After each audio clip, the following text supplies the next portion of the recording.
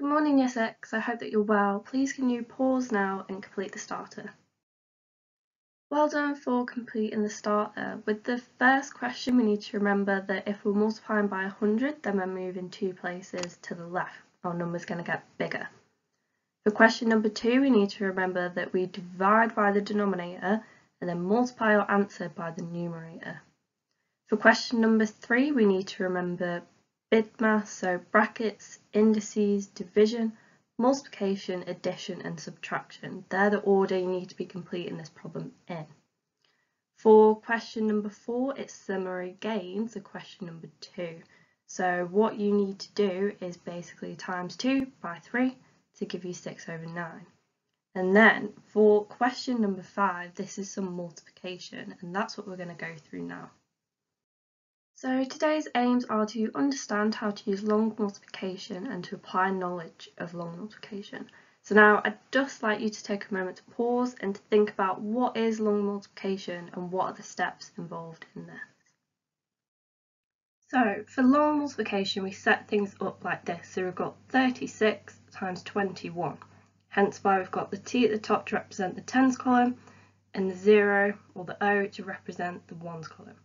Now to start this problem off, we're going to look to the 1 in 21 and multiply it by everything on the top row, starting from right, heading towards the left. So first we do 1 times 6, which is 6, and then we move across and do 1 times 3. 3. Then we're going to move along from the 1 to the 2 now.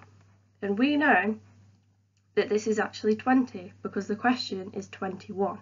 So what we do is we put our placeholder over here and carry on doing just the same as what we did with the 1.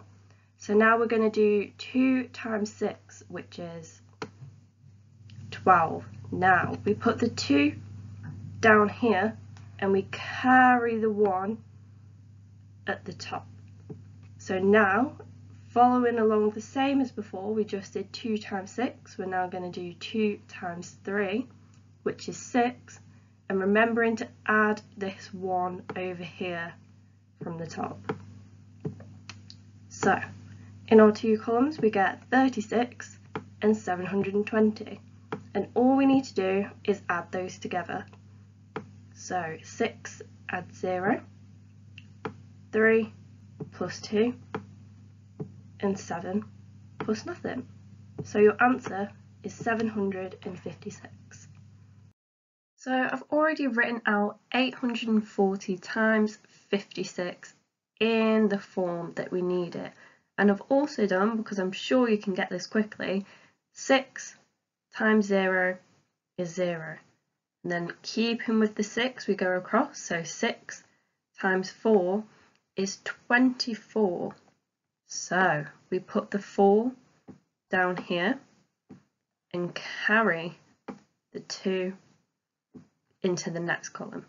So now we're doing 6 times 8, which is 48, but remembering this 2 up here, 48 add 2 is 50. So, because there's no more numbers left to work with on this column, we can just put 50.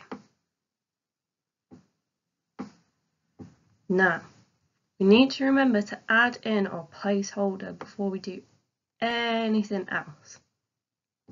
Now that we've got that, we can do 5 times 0, which I'm sure you know the answer by now.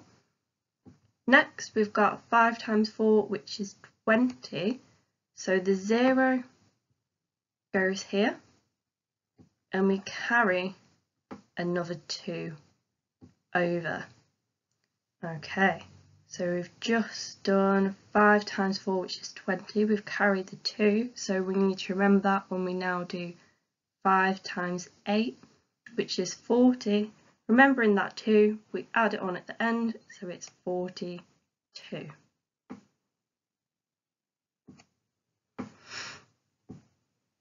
Okay, and now that we've got here, we've got the nice and easy bit, where we add them all together. So 0 adds 0, 4 adds 0, 0, 0 again, 5 plus 2, and 4 plus nothing.